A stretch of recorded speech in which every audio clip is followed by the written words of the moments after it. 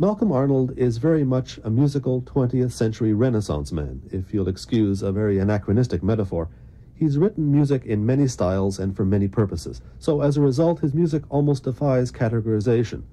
At times, it's full of dissonant clashes and opposing material, and at other times, it's full of sentimental musical cliches. He's written difficult avant garde works and popular pieces, like his Oscar winning score to the movie The Bridge on the River Kwai. Today's piece, the concerto for two violins and strings is somewhere sort of in between. It has the two violin soloists engaged in a counterpoint that reminds me a little bit of Bartok. Here it is now, the concerto for two violins and strings.